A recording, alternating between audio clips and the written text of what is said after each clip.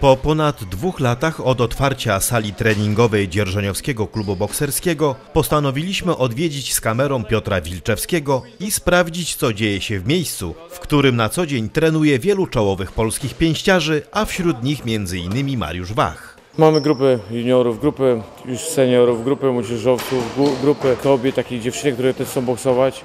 Mamy grupę zawodowców. Praktycznie na tej sali wszystkie grupy wiekowe się przywijają, wszyscy, wszyscy tren- trenują tutaj. No, zawodowcy są taki, no niestety magnesem, żeby, żeby to młodzież ściągnąć, też żeby ci nasza młodzież podpatrywała. Dzisiaj akurat mamy taki trening, fajnie się złożyło, że sparują zawodowcy z naszymi amatorami, gdzie mają możliwość yy, spra- spra- posparowania, sprawdzenia się, podwyższenia swoich umiejętności. Chyba najlepszego treningu już nie ma jak sparring i sparring z zawod- z zawodnikami, którzy już boksują na linkach zawodowych. Najlepszy trening, lepszego treningu nie ma. A także stoją widać maluchy, podpatrują y, te zawodowców, podpatrują tych naszych starszych zawodnik, zawodników. Sam wiem z swojego z własnego doświadczenia, że naj, naj, najwięcej się uczyłem sparując z lepszymi i trenując na jednej sali z dobrymi zawodnikami. To wtedy mówię, człowiek chce być tak, tak, tak, taki jak oni, tak dużo umieć jak, jak, jak oni i zawsze gdzieś tam ten progres jest zdecydowanie szybszy i większy. Mieć przegląd, przegląd, stoi za podwójną, to musi widzieć co się dzieje.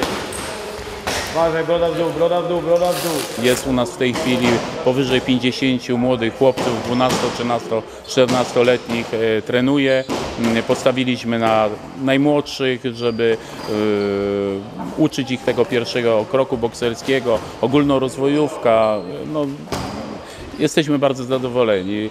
Optymistycznie patrzymy w przyszłość. Mam nadzieję, że miasto i społeczność e, lokalna zauważy, że e, Dzierżoniów to jest e, naprawdę mocny e, boks i jest to e, wychowywanie również poprzez sport.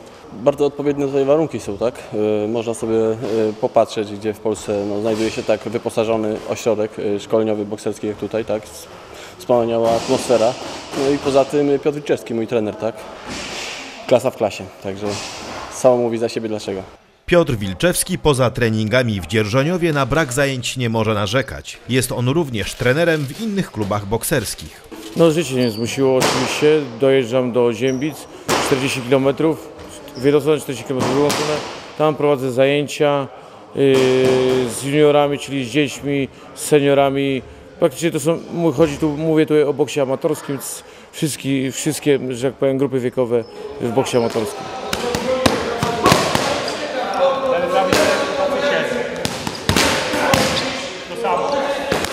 Chcemy w tym roku zrobić e, e, eliminację do Mistrzostw Polski, czyli taka impreza dwudniowa, gdzie będą walczyli nasi e, juniorzy i kadeci. I to jest, jest zarazem ostatnia eliminacja do Mistrzostw Polski. Mamy chłopców w wieku y, 13-14 lat, naprawdę przyszłościowych, to jest tylko kwestia czasu, jak już będą zdobywali medale i właśnie dla nich chcemy zrobić taką imprezę, żeby się zakwalifikowali i pojechali na Mistrzostwa Polski i zdobyli medale.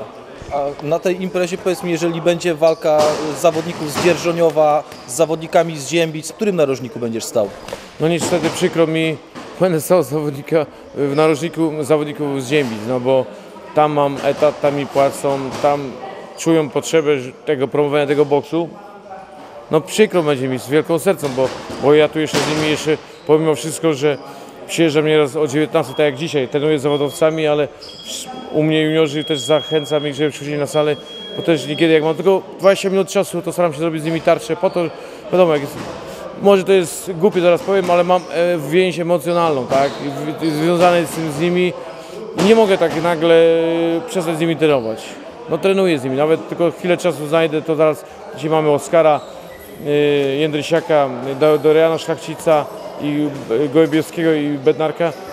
W wolnym czasie zrobię z nimi tarczę. Jeszcze mamy paru, paru innych zawodników. No niestety, ale wracając do samego pytania, no będę stał w narożniku zawodników z Ziemic. No nie ukrywam, że liczyliśmy na większe wsparcie miasta, e, tym bardziej, że zajęliśmy na 150 klubów w Polsce, zajęliśmy 30 miejsce. Zostawiliśmy za sobą bardzo daleko kluby, które mają dużo lepsze dofinansowanie, większą pomoc. Faktycznie, tak jak widzisz, sala jest piękna i ładna.